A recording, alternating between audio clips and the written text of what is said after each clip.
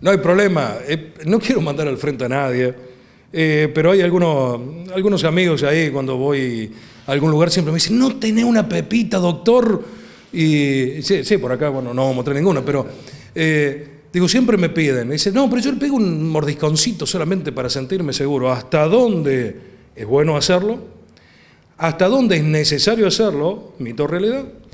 Y bueno, esa es una buena pregunta, ¿hasta dónde es necesario hacerlo? Si necesitas un sildenafil para tener una relación sexual, algo está pasando. O sea, tendrías que hacer un buen chequeo clínico, cardiológico y con un, con un médico de esta área de la sexología a ver qué está pasando. Si es la expresión de alguna enfermedad o es una cuestión solamente psicológica, de estrés, aunque hoy está todo muy mezclado, digamos. ¿no?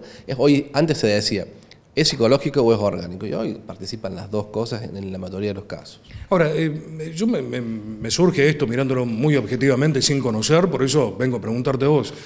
Me surge como que es, una propia seguridad y juega un papel psicológico, porque funciona lo mismo que siempre, que la misma eh, mordisquito de la pastilla, porque una pastilla no se puede dividir en cuatro. No, ese mordisquito es medio mentiroso, en realidad, o la tomás o no la tomás, en realidad. Y en ese caso actúa más de placebo que otra cosa.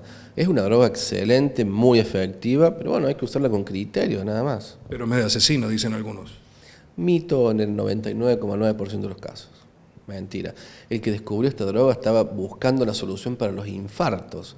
Esta es una droga que eleva el óxido nítrico. El óxido nítrico los cardiólogos lo llaman la molécula de Dios, para que te des una idea. Entonces, ¿qué puede hacer mal? Tiene una interacción con los nitritos que produce hipotensión, pero nada más que eso. Bueno, cuidado la gente que, que, ahora que viene el verano, justamente que yo te lo decía el programa pasado de ajustar la medicación, el que se toma la pepita, ojo, ¿no? Sí, también esos casos de, ese, abuelo que se murió en un hotel de alojamiento, que el tipo tenía 90 años, estaba con una mujer joven, el ejercicio sexual es mucho para su edad, se tomó alcohol y encima el sildenafil, o sea, lo que menos tiene que ver ahí es el sildenafil, ¿no? Daniel, se nos acabó el 2012, no importa, la semana que viene o un par de semanas ya eh, arranca el 2013, que vamos a seguir estando juntos, pero no obstante, formalmente y públicamente el agradecimiento por un año más habernos acompañado en este programa.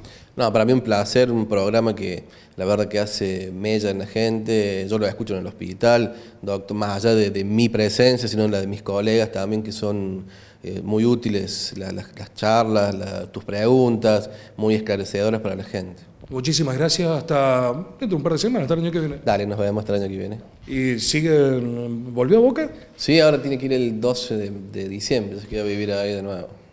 Ya lo comentamos, uno de los, de los próximos cracks que tiene Boca es el hijo del doctor Daniel Amitrano. Pausa, ya venimos.